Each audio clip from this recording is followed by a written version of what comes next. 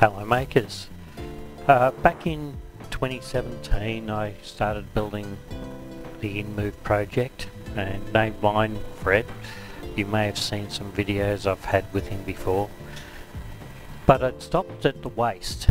Uh, I did start to build a second InMoov with the modified uh, torso, uh, lower torso, waist area with the view to making a walking version However, that didn't quite work out. Um, I've got most of the legs built, but there are a few flaws in the design uh, that we still needed to work through, such as the ankle and maybe a little bit in the hips. But it wasn't a bad design. Having not had any progress on it for the last year or so, year or two, uh, I thought I'd get back into it and at least build the static legs. So Gael has had for some time up on his InMoov site the legs for Fred, or for the InMoov robot. So I thought I'll print them out and I'll put it together. So this is a static version. You can see in the design when you look through where he's had a bit of a go at trying to make it a moving unit. Uh, I think he's come to the conclusion that it wasn't going to work too well with the servos and using standard RC servos they just didn't have enough speed or power in order to make it work. So he converted this to be a standing version only. So to do that what he's done is he's made these blocks that mount where the bottom servo was and the idea is a threaded rod provides support up through the middle of the legs. So I'm going to uh, assemble this.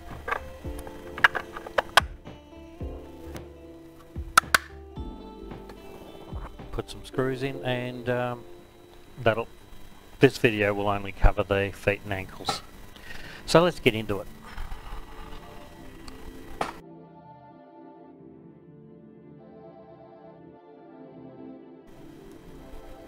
Now there's one screw buried right down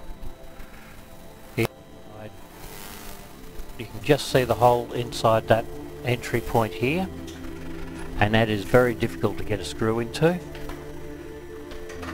I kept having trouble with screws falling off the screwdriver and then losing them in through the body.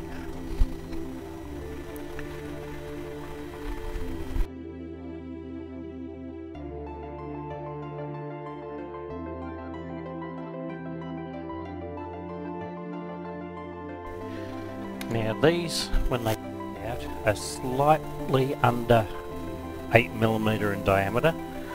And unfortunately when I printed mine, just my settings, it was slightly under as well. So I had to drill these holes out to 8mm with an 8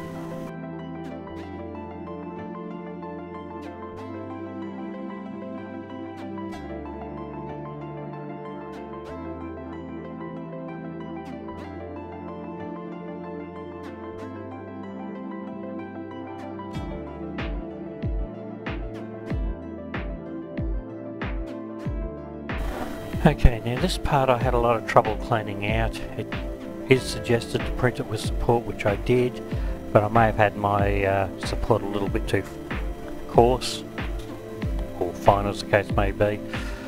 Um, I ended up with lots of plastic in the gear teeth, but since this is a static model it's not going to be an issue.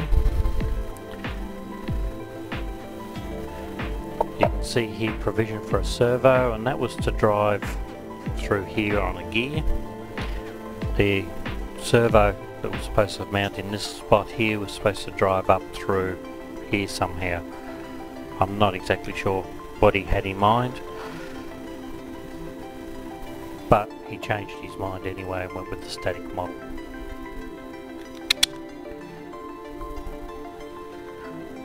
At least we can adjust the pose on these.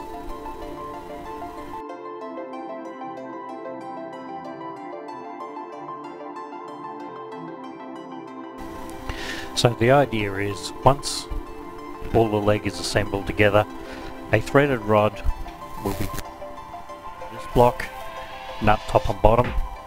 It runs up through the middle here and through the, the remainder of the legs and is attached to a plate or a, a brace in the top of the leg.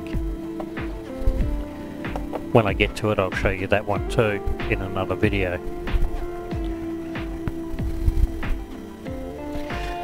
Now this block has the hole is offset and that is actually going to be on the side with the cutout in the servo holder for where the wires would be. So the hole towards the back of the heel in other words.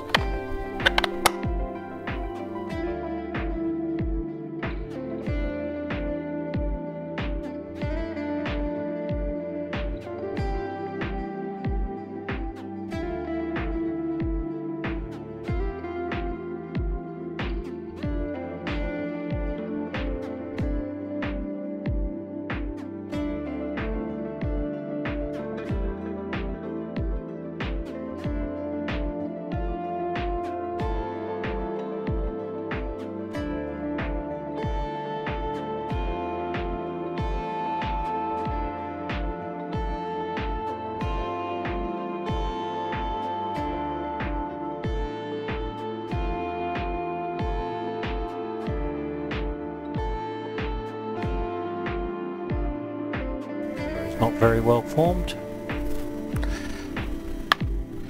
Alright, so that concludes this video anyway. Um, the next part is the tibia. I've got the first of those prints on the printer as we speak. So um, I'll see you in the next video. Don't forget to subscribe and click on the notification bell. That way you'll know when the next video does come out. And we'll see you then.